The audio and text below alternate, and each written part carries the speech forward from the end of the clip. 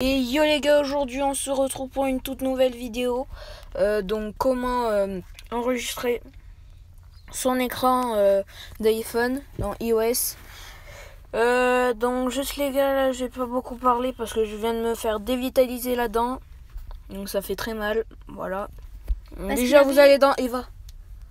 Vous allez dans réglage. Vous allez dans centre de contrôle. Personnaliser les commandes.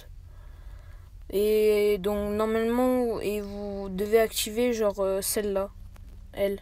Vous appuyez sur le petit plus, voilà. Et quand vous allez faire ça, ben là, ce sera juste ici. Donc vous faites ça. Voilà, et quand vous ferez ça, vous pouvez faire ça. Vous pouvez activer le micro, désactiver le micro, arrêter euh, l'enregistrement, et voilà. Bon, les gars, c'était la fin de cette vidéo. Aussi, euh, pour euh, une astuce, vous, quand, vous, quand vous éteignez votre téléphone, ça arrête l'enregistrement. Ou quand vous recevez un appel. Voilà, bon, c'était Frist Azerty. J'espère que vous avez aimé la vie, ce petit tuto. Voilà, bye.